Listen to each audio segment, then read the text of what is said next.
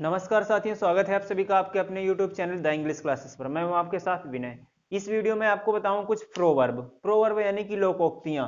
तो जैसे लिखा होगा, मुख में राम, बगल में छुरी तो ये कुछ होते हैं, मुहावरे टाइप के होते हैं, ठीक? लेकिन इनको लोकोक्तियाँ बोलते हैं।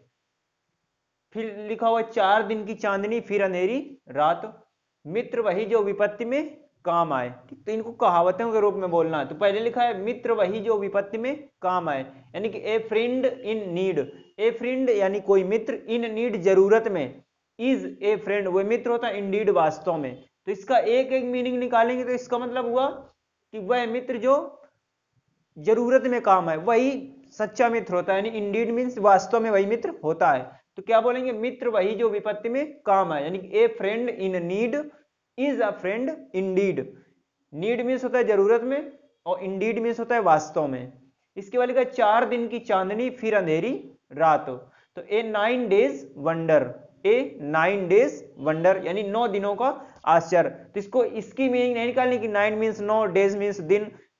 ये प्रोवर्ब की तरह है। तो चार दिन की चांदनी, फिर अंधेरी, रात, ए नाइन डेज़ वंडर इसके वाले का बिना रोए माँ भी दूध नहीं देती। यानी कि जब तक बच्चा रोएगा नहीं, तब तक माँ समझेगी नहीं कि ये भूखा भी है।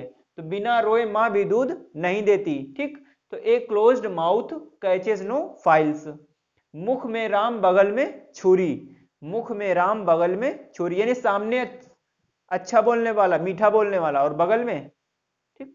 तो मुख में राम, बगल में छुरी। तो ए वोल्फ इन सीप्स क्लॉथिंग इसके वाले चोर की दाढ़ी में तिनका।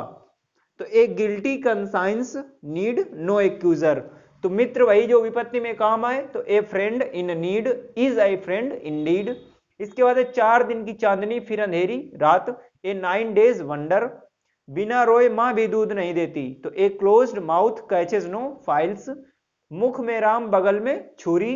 A wolf in sheep's clothing चोर की दाढ़ी में तिनका। यानी कि a guilty conscience need no accuser ठीक? अगर आपको वीडियो थोड़ी सी भी अच्छी लगी हो तो चैनल को सब्सक्राइब कर लीजिए और वीडियो ज़्यादा से ज़्यादा शेयर करिए। Thank you